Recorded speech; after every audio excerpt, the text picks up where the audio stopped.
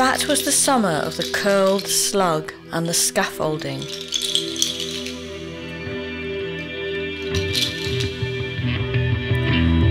Shouts come in concert with the clang of the poles and the swivelling, ringing rivets throw out brittle sounds that bounce off the bowl of the valley.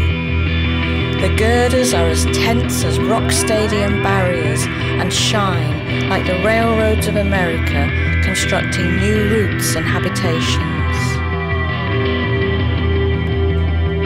On the temporary wooden decks, the squirrel explores, with paws that are miniature kangaroo mixed with elderly monkey. And on the wall, the Virginia creeper will soon be as red and urgent as an unpaid bill and as noisy as the roar behind the disinfected doors of Bethesda pubs.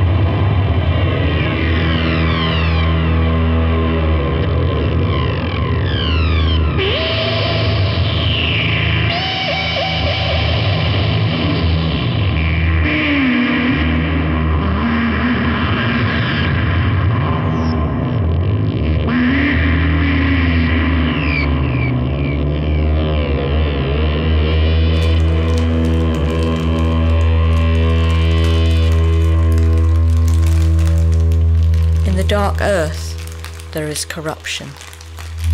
An ooze of slug slime, balled up in the dirt, voiceless. A liquid body with no hide or armour. Black, greasy, vulnerable, decay.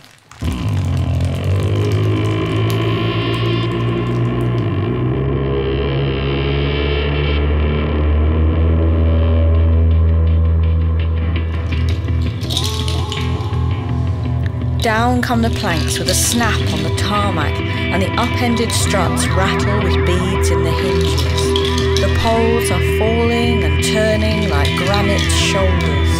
Voices hang in round bubbles of sound. High above, the birds continue to make their circuits, not knowing that this is Wales, where they are blessed. And the joyful clamour of the scaffolding coming down is like the time I returned by train on a sunlit evening when every sheep in the field had a golden fleece.